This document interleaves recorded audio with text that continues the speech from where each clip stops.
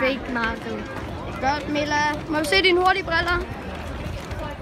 Nå, Mila. Og ikke så hurtigt er det heller ikke. Vi har fundet dem. Nej. Nej, nej, nej, nej, nej.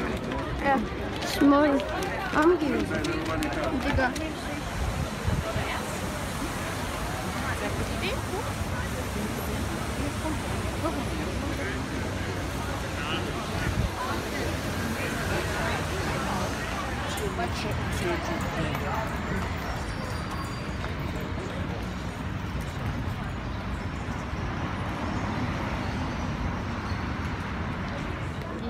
Lige boots.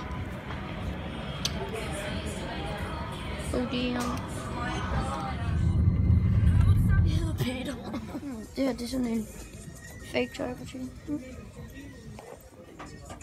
Yes. Ja, det, er fedt.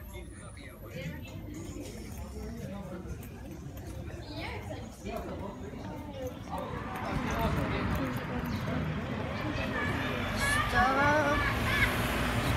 Stop. Så ikke. Øh.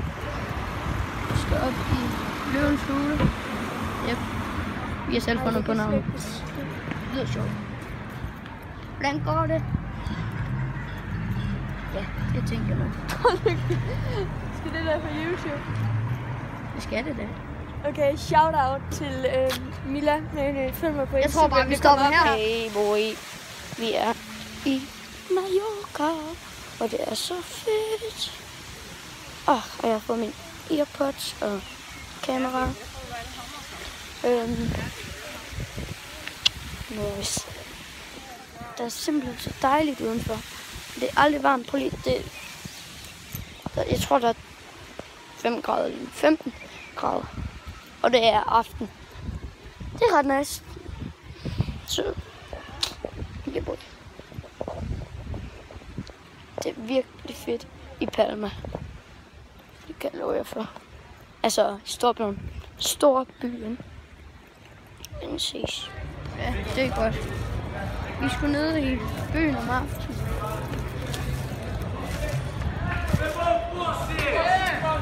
Det er godt. Det er sgu, det er sgu meget fint. Kan man stå ned og sidde med. Kan man sgu da også lov til.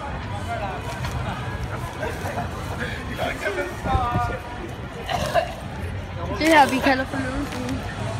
Ja. Det er en slingshot.